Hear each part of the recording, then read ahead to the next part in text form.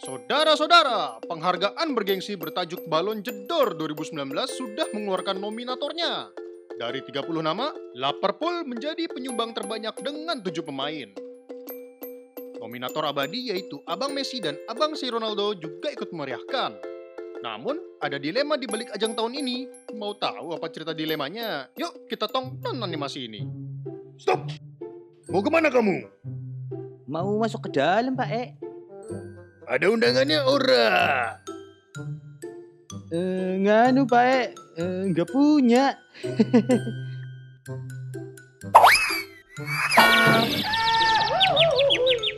Kenapa lu, Tong? Nama gue kagak ada di sono, padahal kan gue kemarin pemenangnya. Ya elah, Drake, Drake. Ngapain sih lu nangis? Ada yang lebih menderita dari lu tuh. No, no, no. Ha ha